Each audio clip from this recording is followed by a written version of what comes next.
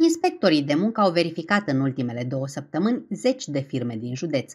Ei au vrut să constate dacă patronii au luat toate măsurile necesare pentru a preveni răspândirea noului coronavirus. În perioada 1-14 iulie 2020, Inspectoratul Teritorial de Muncă Olt a desfășurat acțiuni de verificare și control cu scopul identificării angajatorilor care nu respectă prevederile legii numărul 55 per 2020 privind unele măsuri pentru prevenirea și combaterea efectelor pandemiei cauzate de COVID-19.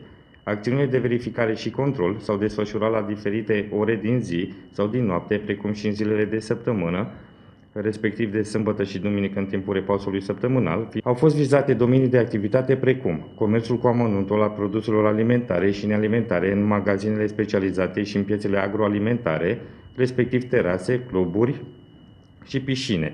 Controlele au avut loc atât pe timp de zi cât și pe timp de noapte.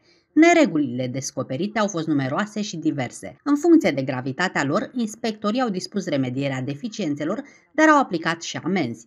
Cele 62 de controle au scos la iveală un număr de 86 de deficiențe, fiind dispuse măsuri de remediere pentru fiecare dintre acestea și au fost aplicate 83 de sancțiuni contravenționale, constând în 5 amenzi cu o valoare totală de 5.000 de lei.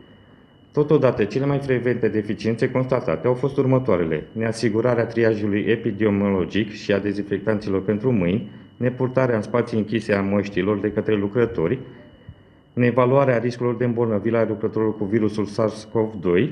Inspectorii de muncă vor intensifica aceste controle ca urmare a creșterii alarmante a cazurilor de angajați infectați cu SARS-CoV-2.